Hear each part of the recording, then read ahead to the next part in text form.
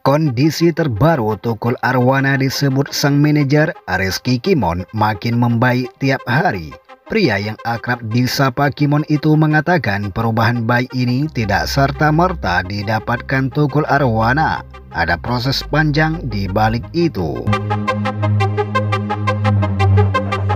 Jadi update untuk Mas Tukul Alhamdulillah semakin banyak progres yang Mas Tukul capai kata Kimon. Meski kondisinya berangsur membaik, Reski Kimon mengakui Tukul Arwana belum bisa berbicara dan berjalan.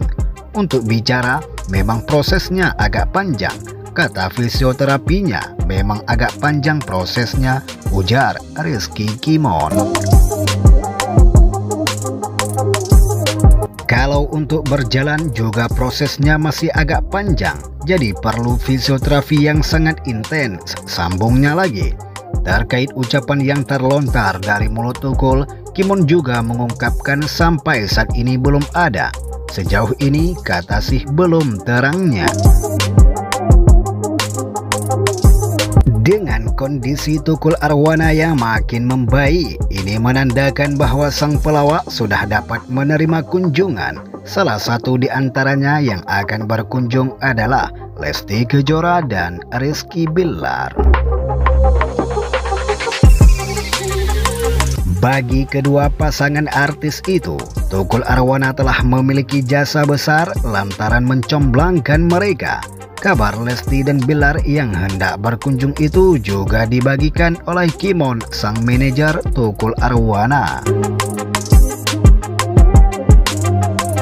Menurutnya, manajer Lesti Kejora dan Rizky Bilar sudah pernah menghubungi pihak Tukul Arwana untuk bertemu, namun hal itu belum terrealisasi. Lesti dan Bilar berencana menjenguk Tukul minggu ini. Mas Bilar sama Mbak Lesti itu saya lupa, minggu ini apa minggu depan, ujar Rizky Kimon. Kemudian, Rizky Kimon akan mengatur ulang jadwal Lesti dan Bilar untuk menjenguk Tukul Arwana.